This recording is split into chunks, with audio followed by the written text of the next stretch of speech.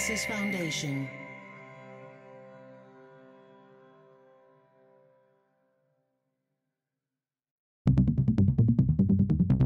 Dublab.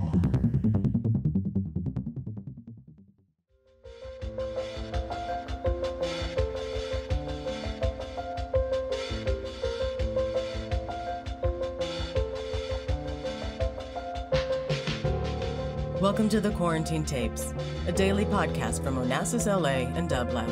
Hosted by Paul Holdengraber, this series chronicles shifting paradigms in the era of social distancing.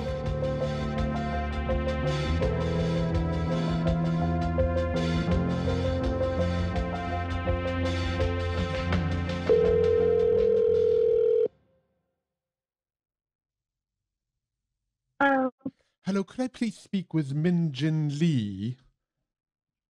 This this is she. How are you, Paul?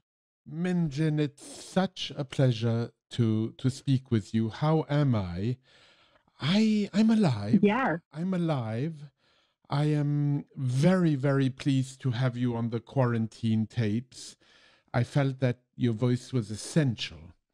And so I'm I'm, Oh. I'm tremendously happy that you accepted to take my call and be part of of this adventure in these dire, dark, delirious times we're living through. Unprecedented really is not a word one likes using often, but it feels that way. I've never lived something that has had such a global impact. Have you? No, no, and it's odd. First of all, I'm really glad to be speaking with you because I knew that this would be a real conversation Well, thank you. and nothing and nothing false. And because it's been really hard to actually talk to people on the phone because I'm not so good at equivocating and um, acting as if everything is okay. Because I find I don't know how you find it. I find that I have these waves. Like I'll I'll feel okay and I'll feel calm, and then all of a sudden the sirens will start because I live in Harlem and I'm living in New York, which is the epicenter of the world right now in terms of where there's the greatest amount of cases and devastation. And also, it just feels so completely out of control. And then, so I'm in my house and I'm with my family and I feel physically well, but then the sirens never end. So I have earplugs in all the time because I found that I was feeling too sad and I couldn't function. But then, you know, I'll be in a moment, I'll be with my family in the kitchen, I won't wear my earplugs. And I feel happy because I see I'm having a delicious meal or because my son made a funny joke. And then all of a sudden I feel guilty because, oh, how could I be happy when people are dying around me, like just everywhere, and I don't see an ending to this. So that's anyway. I'm, glad to be speaking with you because I know you understand. And Talk to me about the sadness. um, well, I was in New York City and I was evacuated when 9/11 occurred because I live downtown. I was maybe eight blocks away from the World Trade Center when the tower fell. I remember you talking I about rem- that. Yes, I was there. And then when the Tohoku earthquake happened in Japan, I was in Tokyo. And then I had to leave two days after it happened with my son. And so I kind of felt like, and then of course my father's a war refugee from North Korea. So I kind of thought, you know, I am fairly nimble at dealing with crisis. Like I always know where my passport is. I always have cash in the house. And like there's a kind of like a hoarding mentality of me anyway. But this, this is so different than anything I have ever witnessed. And I've researched wars like very extensively for decades. So I don't know, there's a kind of perniciousness to this. And um, I feel so humbled by it. I feel truly humbled by the magnitude of this challenge.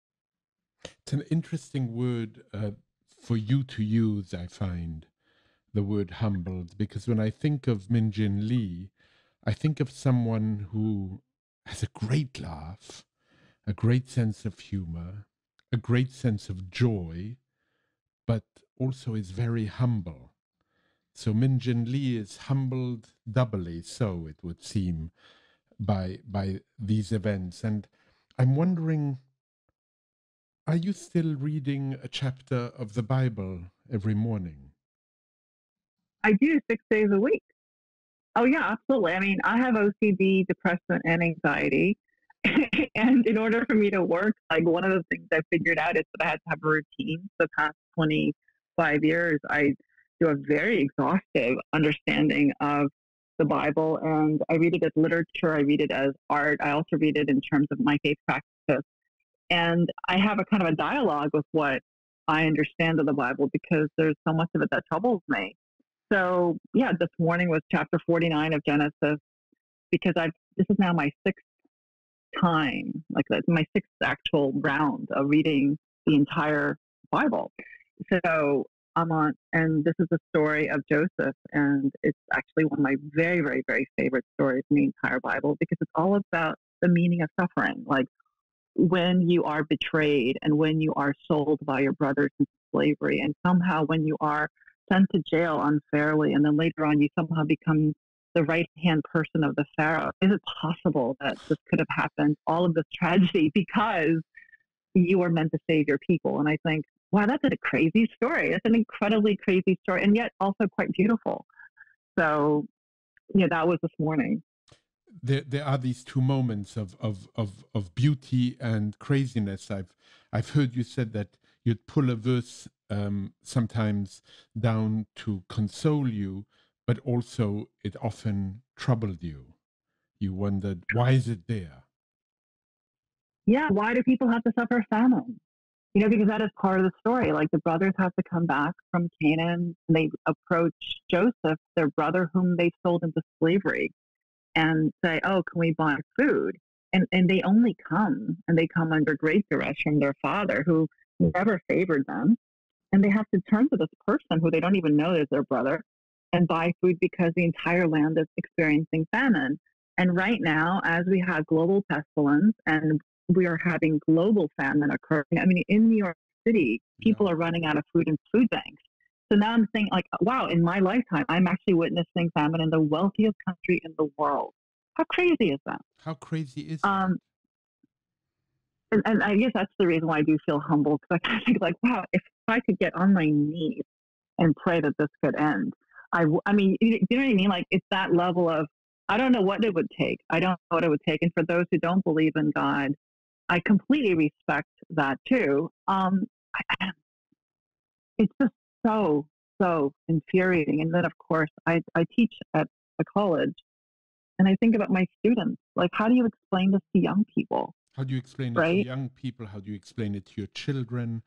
How do you mm-hmm. how do how how how and and and Min Jin, these are the questions that have always occupied you. The these big questions of how is this possible? What is the meaning of all this? Is there a meaning to this pandemic?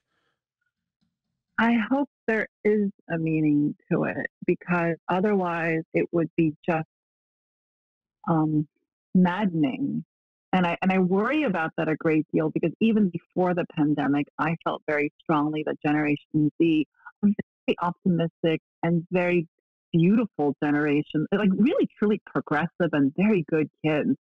And they're having their hearts broken and they're experiencing so much anxiety anyway. So you had this bizarre optimism because they're so progressive and yet they and idealism and they also had this intense, intense anxiety caused by I think partly technology and by having too much information and too much news. And then now you have literally plague, pestilence, and famine. Just and just that course, just that trinity. Plague, yeah, pestilence, and famine. It could be the title of a future book that some ethnographer or anthropologist or historian would write. And then, you know, you and I were fortunate enough to have this conversation in the sidelines and to try to wonder about its meaning. And thankfully, I have health insurance right now. And thankfully, I have enough food in my house. But, you know, every time I get a package, I, I really think to myself, I look at the young, trembling person in front of my door, afraid of me, and I'm afraid of him. And then, you know, before I give him a tip or something, like I think like, oh my gosh, you had to leave the house today to del- deliver, you know, this packet of books for me because I can't stop the world, right? Like, and you need a job, and I need you to bring me this book, and I'm 51 years old, and I've had a liver disease. I don't have it anymore, but I'm vulnerable to getting sick again. So it's, I just can't believe this, you know, very, very tenuous connective tissue that binds us in our society. And yet I'm on the side of safety. Like, and I could indulge in asking these questions. You know, I, I, I often think about all of that, I, and I think about the fact that I've really stopped counting my blessings because they're they're just too many.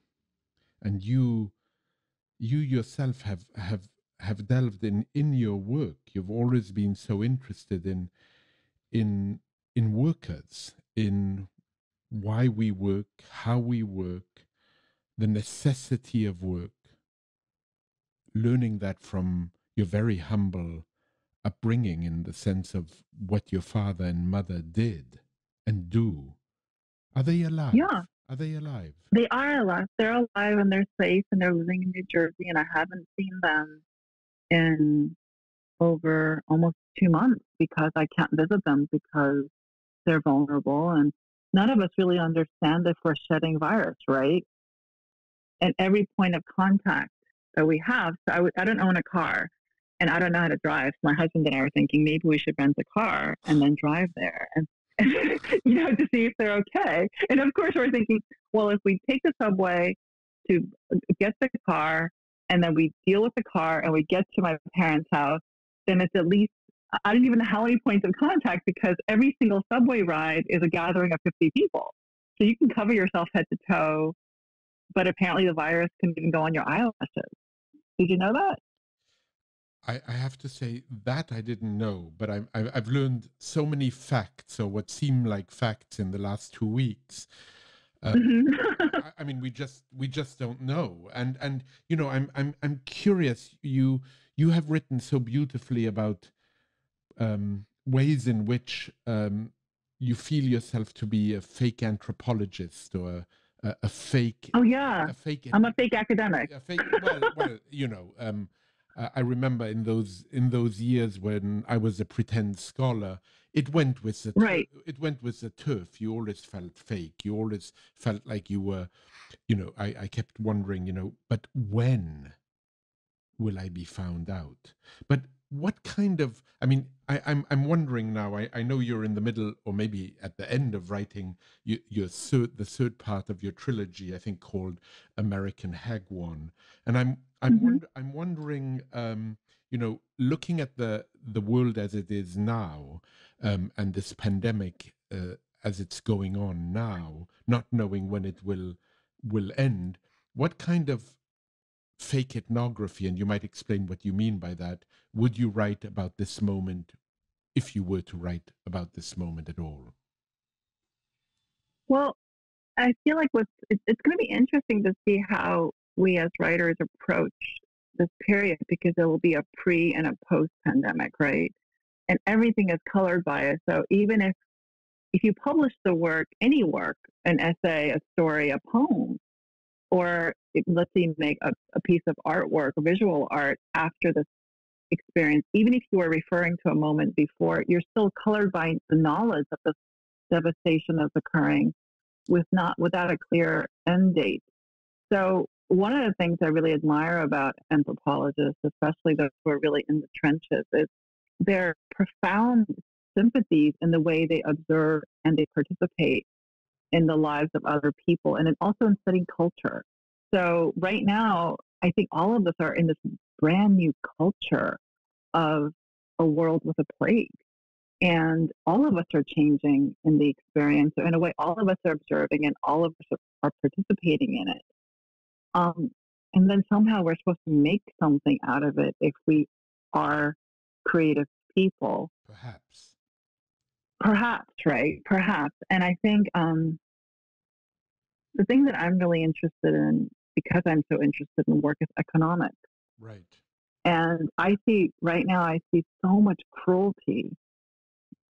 I mean, it's unfathomably cruel what people are doing because of money and because of organizations and our unwillingness to admit how many of these decisions are based on money, not and of course, like being so short sighted about money and profit, we're actually um, spending more money in the future against the next generation.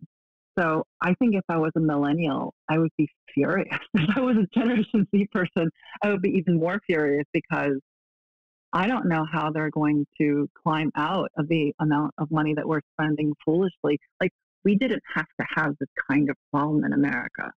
We didn't. Like, we could have, you know, isolated, separated, had contact tracing, had greater testing. We could have made private companies in America, because there are so many companies in America, which could have been forced to make testing. And as if we are in wartime and we refuse to do that. Um, and now the horses have left the barn. It's too late. Like you can't do contact tracing now. Like you can't, like if I was sick, you know, you can't take me out of my house now because we have decided that's not okay. But in other countries, that was possible. And although that seems incredibly cruel, in some ways, it's incredibly humane. You know, I heard you say, what if, as if we could have.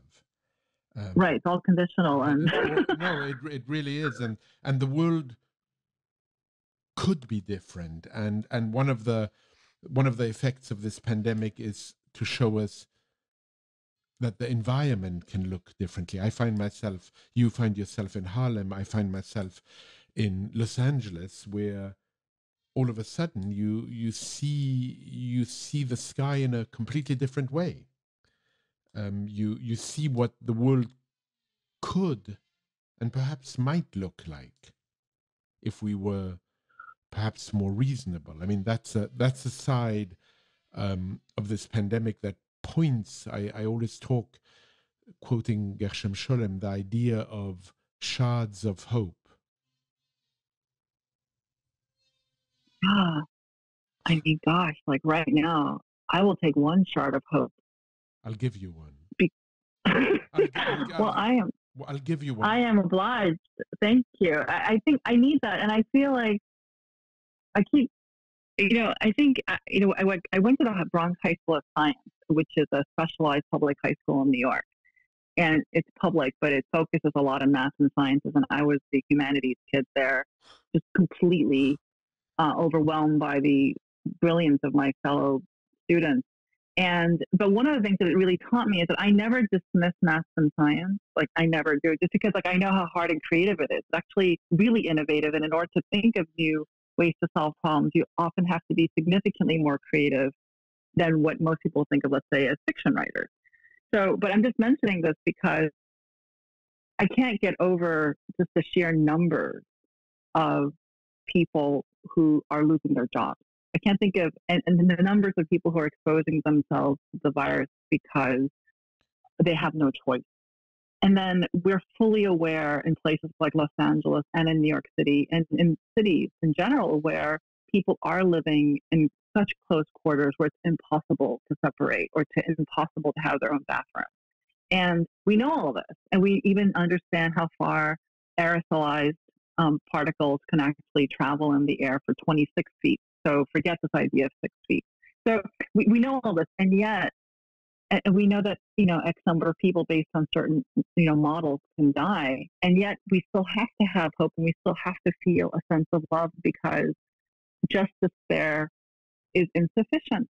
Like it is, it's impossible to only feel a sense of despair, and certainly as a parent, it would be truly irresponsible and certainly as an adult, it would be irresponsible to not give the next generation a sense of hope. So we need a, a truly created sense and a collective sense of hope and to gather all the shards and to say it's not beautiful, but here we go because we have to struggle better.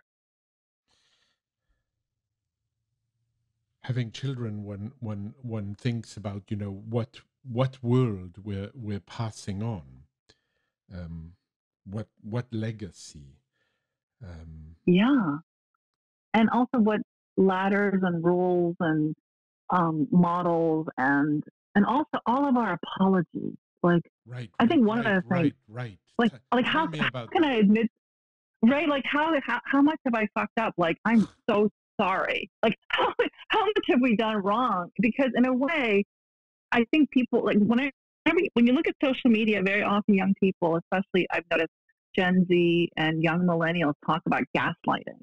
You know, this whole idea that from that film, that movie, I think it's Ingrid Bergman, right?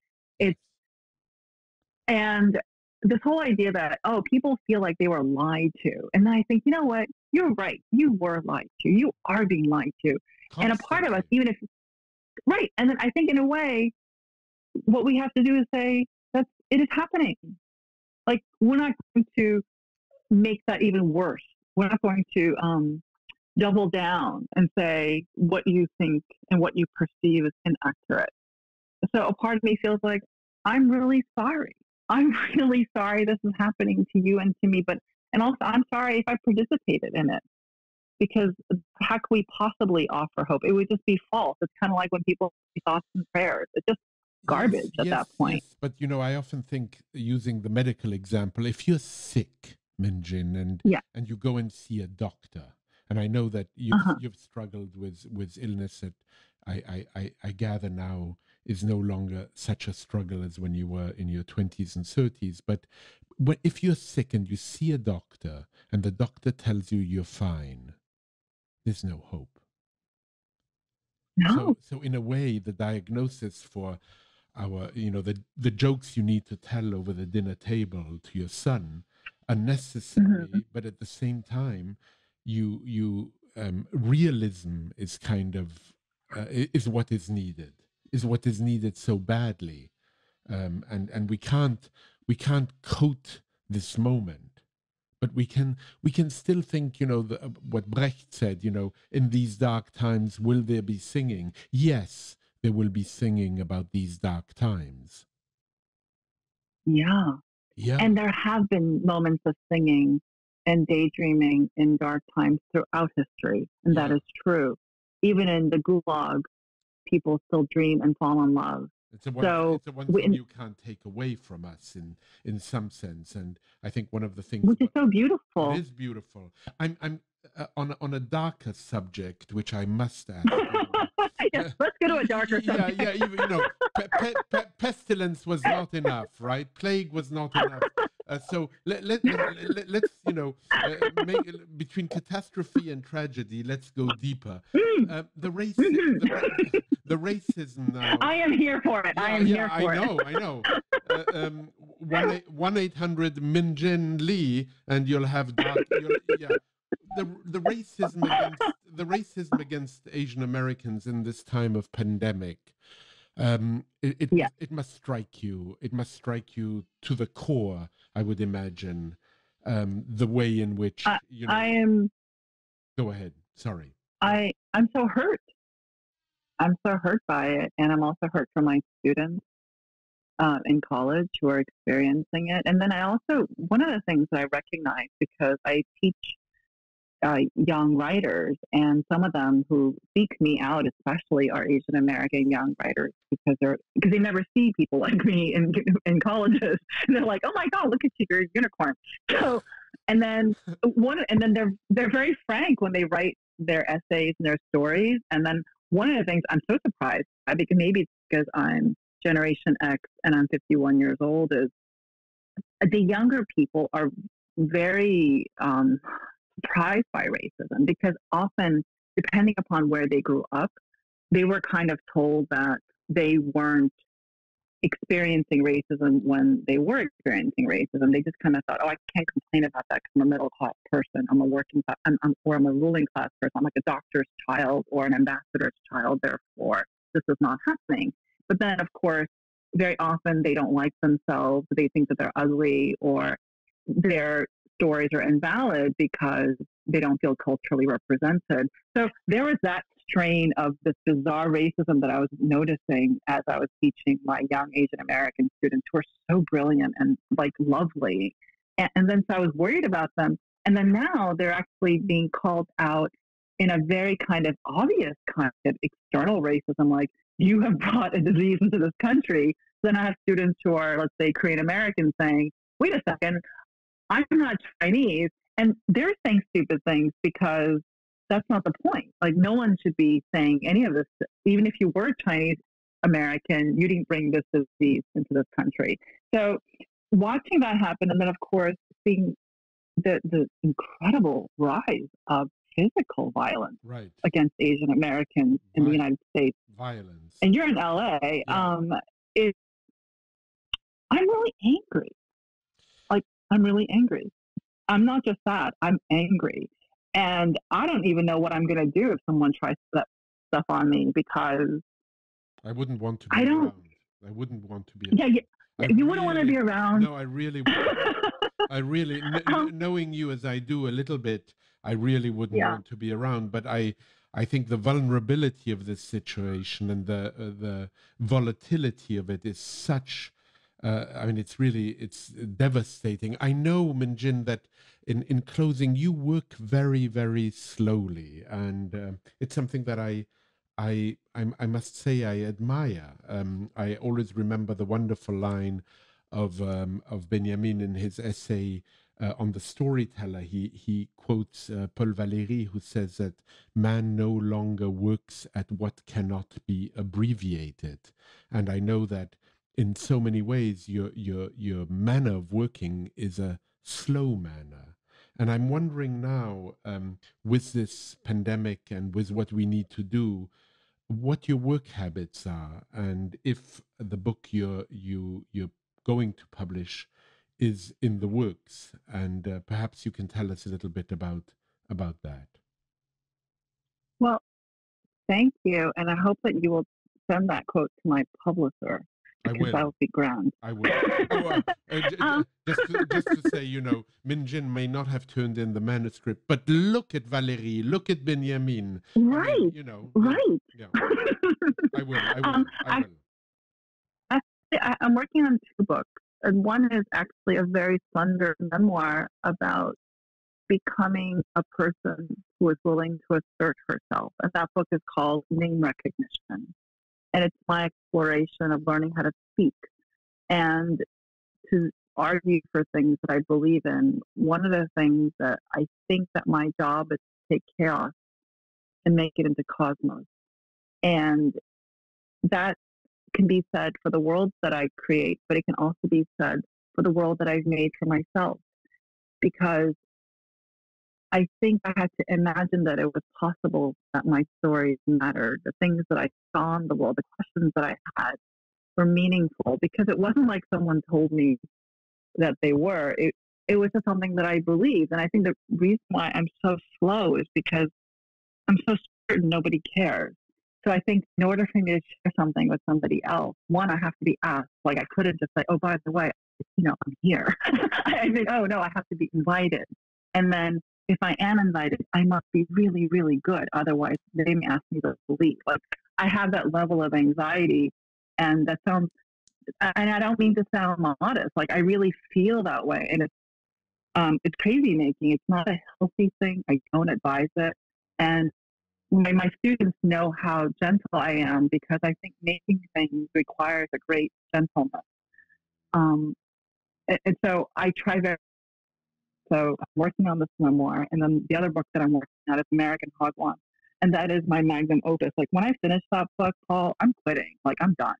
So Um, we'll, we'll, we'll, we'll, revisit Yeah. that and, and see if, if, if I, I have a feeling um, that quitting is not not exactly not exactly what you do. Min Jin, I could continue talking to you for such, for such a long time, and I, I I I wish I could. And hearing your laughter, uh, even uh, in the midst of, of all the grief we're living through, is is really a balm. And I want to thank you. I want to thank you so much uh, for taking Oh, my Paul, call. you are Paul, you are a tonic for the soul. You are. Well, thank you, thank you. I, I'm I'm really grateful to you, and and I can't wait to to see you again. And uh, for the moment, please accept my virtual hug. Oh, and I send you one too. And um, I know we will see each other again. And that is my chart. We and will. that is my chart of hope. Yeah. We will. I still ha- hang on to it. a huge hug. A huge hug to you, Paul. Bye, Tiny.